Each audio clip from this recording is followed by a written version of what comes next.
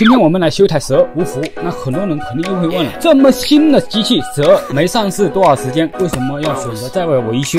其实很简单啊，我们来看一下，显微镜下面我们来看吧。左下角玻璃碎了一点点，客服检测的时候是人为损坏导致的无服务，需要花三千两百九十九进行更换整个贝壳带主板，就是价格太高。因为这个也不是什么很重的摔就碎了一点点，然后导致了无服务。其实如果它摔的话，导致这里不碎的话，那这个机器客服肯定是免费维修。但是碎了，只要是能被客服眼睛看得出来人为的这种，都要自己花钱维修。但这个价格太高啊。拆除主板，我们来看一下哪里损坏了导致无腐。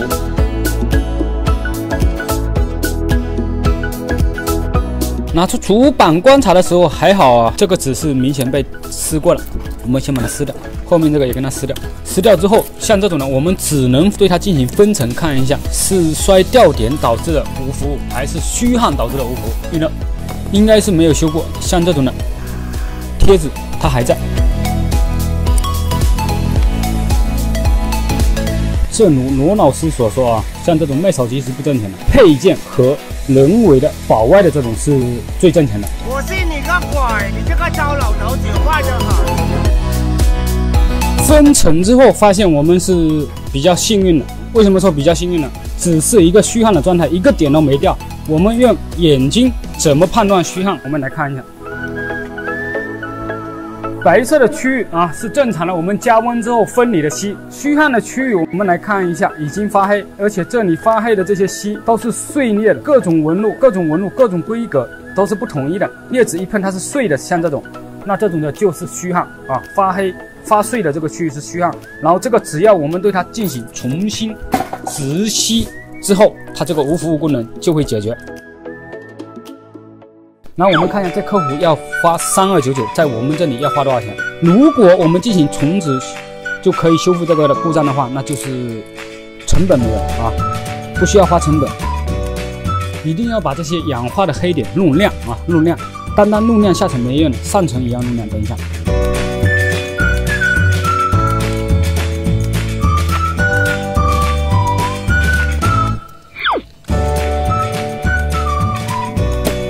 所有氧化的点我们都已经处理完毕了，我们准备开始直吸。我们开始直吸，直吸我所用的温度为一百三十八度。好，我开始直吸，直吸的温度是。用一百三十八度，那很多人肯定就有疑问了。原锡是一百八十多，为什么要用一百三十多？就跟我们的这个修复的工艺有关啊。呃，我们是从上层加热，锡我们是只在下层，然后我们贴合的时候，我们是从上层加热。因为现在没有加热平台，如果有加热平台，我可以用原锡，但是现在没有。如果我们下面用一百八十三度了，然后我们在上层加热的时候，上面温度达到一百八十三度的时候，下面锡是不会化的。上面要达到两百多度的时候，下面一百八十三度的锡才能化，因为。因为它中间隔了一个板，然后这样子会导致上面芯片会爆锡，所以我们要用一百三十八度的。如果下次有加热平台了，我们在下面加热的时候，那我们就可以用一百八十三度的锡了。下面因为直接加热这些锡球的话，就不会导致爆锡啊。好，我们开始先刮锡。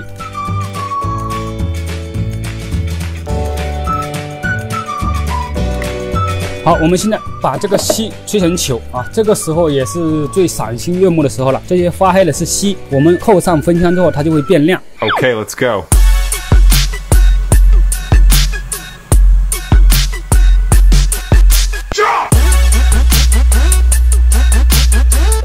仔细完毕，接着我们就是上松香贴合，就完成了整个操作了。我们开始上松香贴合。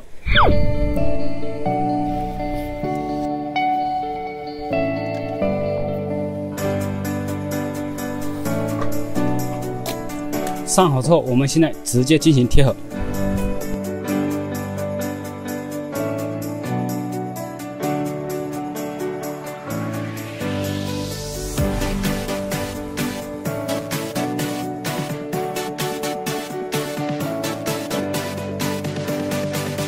贴合完之后，我们直接上电，看一下电流情况是否有短路、漏电、大电流的这种情况。我们先上电。上电电流正常，那我们按下开机键看一下开机电流是不是正常，开机电流也正常，我们就可以装机测试。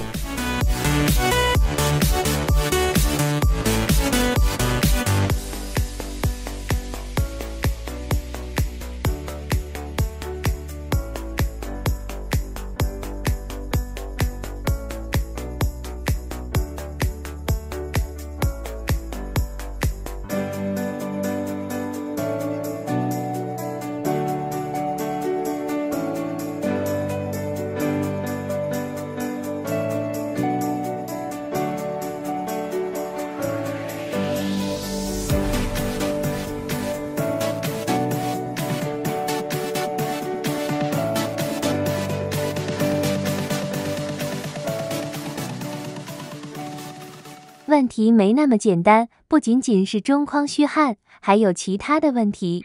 好，现在我们从这里能看得出来，就是信号双卡满格五 G 正常。